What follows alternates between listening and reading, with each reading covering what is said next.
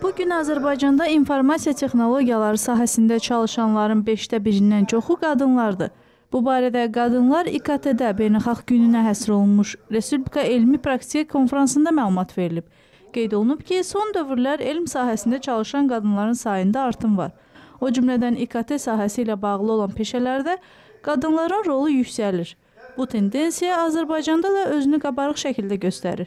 2018-ci ildə Azərbaycanda texniki elmlər sahəsində çalışanların 53%-ni qadınlar, 47%-ni isə kişilər təşkil edib. Bizim institutda da bu istiqamətdə tədqiqatlar aparılmışdır. Yəni tam statistik məlumatlara əsasən deyə bilərik ki, Azərbaycanda da hardasa bu göstərici sırf olaraq IT mütəxəssis adlananlar 15%, hal-hazırda isə artıq o 20-23% qismində qiymətləndirilir. 2010-12-ci illərdə apardığımız tədqiqatda müəyyən olunmuşdur ki, bu hardasa gəlib 15%-ə çıxır. Amma bugünkü tədqiqatlar, bugünkü səviyyədə isə 23% faizdədir.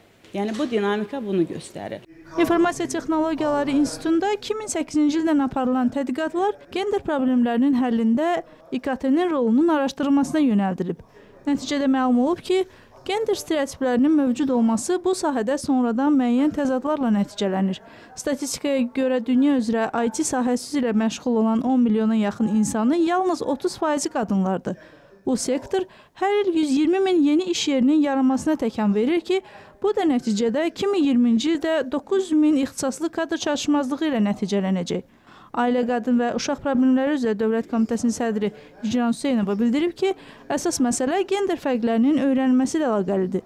Bildirilib ki, İKT qadınların elmi yaradıcılığının inkişafı və müxtəlif peşələrə yiyələnməsi baxımından geniş imkanlar açır. Bizim işimiz elektron hökumətdə gizli sosial şəbəkələri aşkarlamaq, terrorizmlə bağlı məqalələri aşkarlamaqdan, onların filtrasiyasını aparmaqdan ibarətdir. O cümlədən ə, vətəndaşların məmnunluğunu təmin etmək üçün yeni metodların təklif olunmasıdır ki, belə ki, vətəndaşlar bir sıra məsələlərdən narazı ola bilərlər, elektron hökumətə öz fikirlərini bildirə bilərlər. Bir sıra metodlar təklif edilir. Təklif etdiyimiz metodlar, məqalələr ə, beynəlxalq arenada, beynəlxalq jurnallarda çap olunub, nüfuzlu jurnallarda. Qeyd edək ki, Beynəlxalq Telekommunikasiya İttifaqının 2011-ci ildə təsis etdiyi Qadınlar İKT-də Beynəlxalq Günü hər il aprelin son həftəsinin cümə axşamı keçirilir. Əsas məqsəd gənc qadınların İKT sahəsinə cəlbi, onları bu sahəyə gəlməyə stimullaşdırmaq və peşə yönümündə seçim etməyə yardım göstərməkdir. Nailə Həsənova, Əli Surxayoğlu, CBC.